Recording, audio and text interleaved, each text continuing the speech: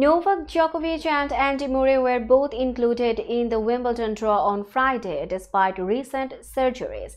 The tournament starts on Monday, but it's uncertain if either 37-year-old champion will play. Djokovic, who had surgery for a torn meniscus in his right knee less than a month ago, has been practicing and looks ready to compete.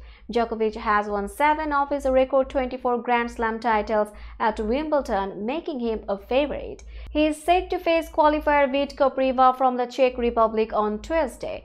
Murray, a two-time Wimbledon winner, had a cyst removed from his spinal cord last weekend. He is considering playing doubles with his brother Jamie, who got a wildcard entry instead of singles. Murray's first round match against Tomas Machac of the Czech Republic is scheduled for Tuesday, giving him extra time to decide. Murray, who tore ankle ligaments in March, plans to retire after Wimbledon and the Paris Olympics next month.